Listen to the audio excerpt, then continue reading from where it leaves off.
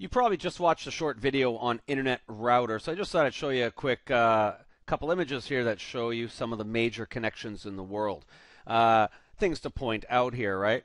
It's not actually showing the connections here in Canada or the U.S., right? It's so you know you're looking at the major ones that are linking countries and major areas. You can see here, yes, cables do go underwater for huge distances. Neat little topic to look up how they do that. And you'll notice some countries have lots of connections coming in, like Canada and the US and Europe. And some countries only literally have one cable coming in. So if the one cable comes in and something goes wrong with it, bad, bad connection, something breaks, literally their internet is down.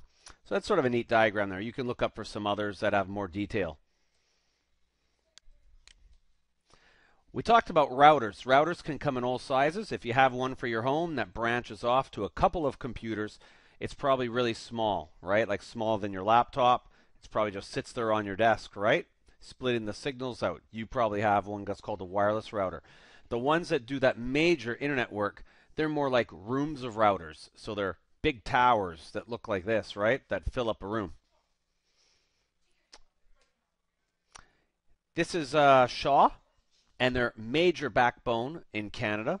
Uh, just to give you an idea, notice there's not that many major branch points for Canada. Why? Because our cities are very spread out. So you don't have so much of a web, right? Like a spider's web of a thousand connections. But do keep in mind that these are the major connections. Once you reach a, like a major point, you start getting this happen. So you'll see here a major point branches off into sub routers, right? In local communities and cities. And then they branch out to neighborhoods, and the neighborhoods branch out to apartment buildings and houses. So uh, when we've been looking at these maps that have the major points, you got to keep in mind this keeps splitting up and splitting up and splitting up until it's into every single house in almost every neighborhood that has internet access. This diagram here, this one was just released by MIT. These are the major backbone routers of the US. So if you look, that is a map of the United States with their major routers.